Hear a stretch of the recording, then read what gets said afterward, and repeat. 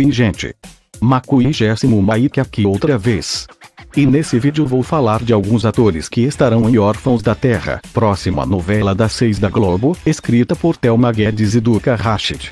Por favor, já deixe seu like, inscreva-se, ative o sininho, muito obrigado. Leona Cavalli está no elenco da próxima trama das 6. Após um período na Record, onde interpretou a vilã de Apocalipse, Leona Cavalli acaba de acertar seu retorno à Globo. A atriz estará em Órfãos da Terra, novela das seis escrita por Thelma Guedes e Duca Rashid, com estreia prevista para março.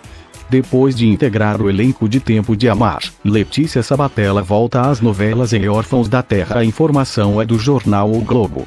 Na história, Letícia será uma das mulheres de um sheik. Danton Mello será um delegado.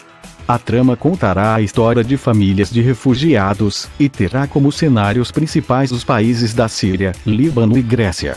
Ana Cecília Costa será a mãe de Júlia Lávia em Órfãos da Terra, próxima novela das 18 da Globo. O ex-BBB Kaysar também acertou sua participação na trama de Thelma Guedes e Duca Rashid. Ele interpretará um dos capangas do Sheik vivido por Erson Capri. O personagem aparecerá até o fim da história e poderá crescer, dependendo do seu desempenho.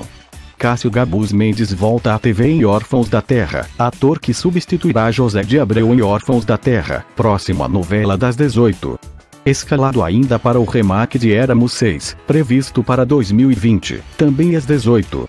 Segundo informações do jornalista Flávio Rico, Cássio só pôde ser escalado para a trama de Duca Rashid e Thelma Guedes após o adiamento definitivo de Araci, o Anjo de Hamburgo. A minissérie de Mário Teixeira sofrerá alterações no roteiro. O autor, porém, está envolvido com o tempo não para. Em Órfãos da Terra, Gabus Mendes viverá um milionário, pai do papel reservado a Rodrigo Simas, de acordo com a jornalista Patrícia Kogut. Depois do interpretar o mocinho em Tempo de Amar, novela que antecedeu o Espelho da Vida na faixa das 18, na Globo, Bruno Cabreviso voltará às novelas. De acordo com a colunista Patrícia Kogut, o bonitão estará em Órfãos da Terra, próxima trama a ocupar o horário. Na novela de Thelma Guedes e Duca Rashid, Bruno interpretará um personagem, fará parte do núcleo do vilão, vivido por Erson Capri.